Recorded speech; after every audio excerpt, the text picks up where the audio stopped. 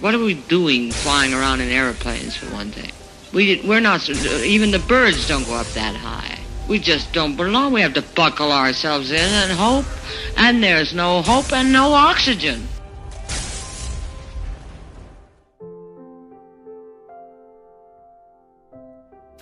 Now, uh,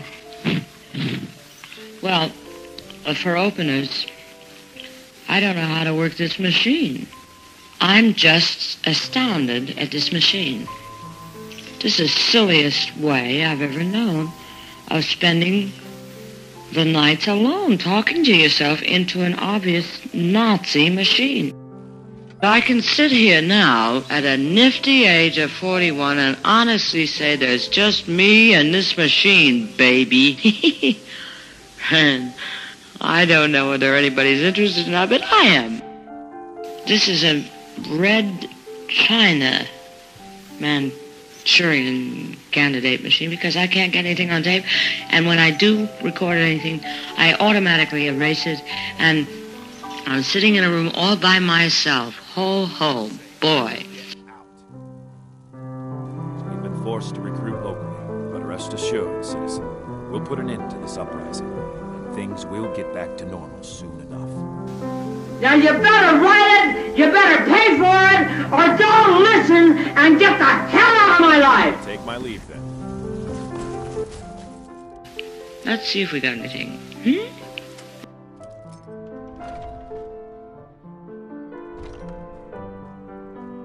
You're not supposed to be here. I'm doing it purely for money because I deserve it. I've sung, I've entertained, I've pleased your children, I've pleased your wives, I've pleased you, you sons of bitches. Uh, a lot of people belong in a thing in Southern California called the La Brea Tar Pits. I've maintained a way of life to not sink with the sludge. I wanted to believe, and I tried my damnedest to believe in the rainbow that I tried to get over, and I couldn't.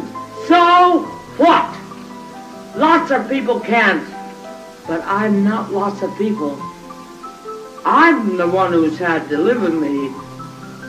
Uh, his children are just as important to him as my life. Forget it. I'm, his life isn't nearly as important as my life is to me. Sheer selfishness. I don't really care about anybody but me. and when my number is up, I want a new one, and I have no intention of checking out. My wounds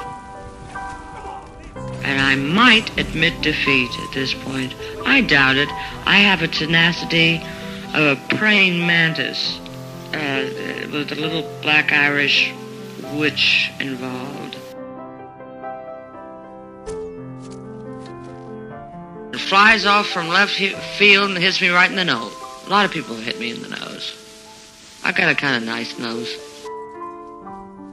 I have a good sense of humor, but it's high time to cut the comedy and high time to stop the trolley ride because I, Judy Garland, I'm going to talk and everybody just better sit on the bench and watch the ball game.